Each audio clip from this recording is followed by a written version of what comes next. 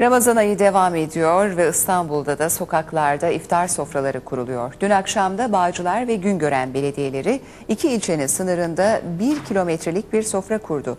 Taksim Meydanı'ndaki iftarda ise yağmur sürprizi vardı.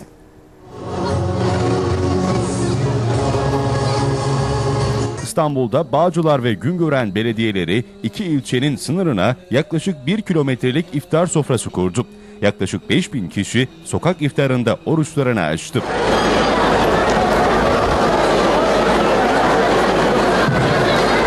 Sokağın bir ucundan diğer ucuna ulaşan iftar sofrasında renkli görüntüler oluştu.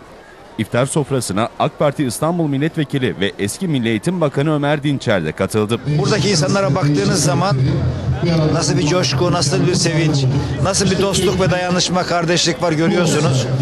Bunun bütün yıl boyunca ülkemize yayılmasını temenni ediyoruz. Vatandaşlar daha sonra hep birlikte oruçlarını açtı. Taksim'deki iftar sofrasında ise yağmur sürprizi vardı.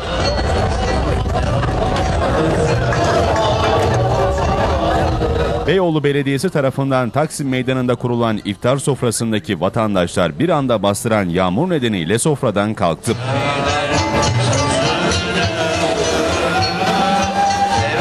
Oturmaya devam edenler de vardı. Yani etkilemedi. Yani yine yine de mutluyuz. Biraz üşüdük ama Allah'a şükür yani. Kısa süren yağmurun ardından masalardan kalkan vatandaşların çoğunluğu tekrar iftar sofrasına döndü.